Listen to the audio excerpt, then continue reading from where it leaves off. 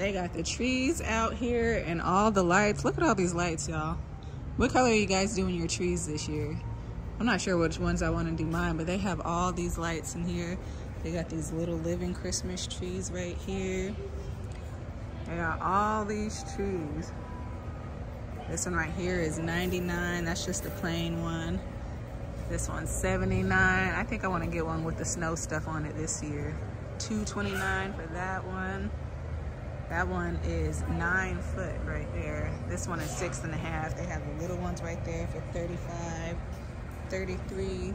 That one's 299. This is a LED one, so it has the little lights on it. Seven and a half foot right here for 159.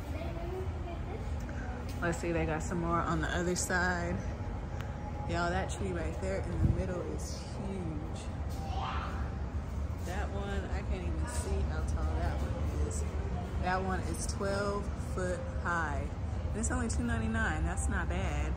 They have these ones right here too. This one's 69, 85, 79 for this one right here.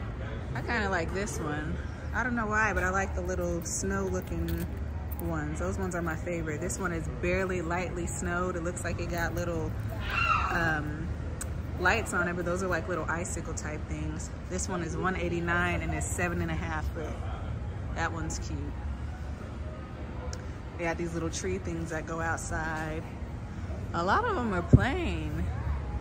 I don't know, I wish I could get a real one, but I haven't had a real one in years. That one's 99, 89, 99.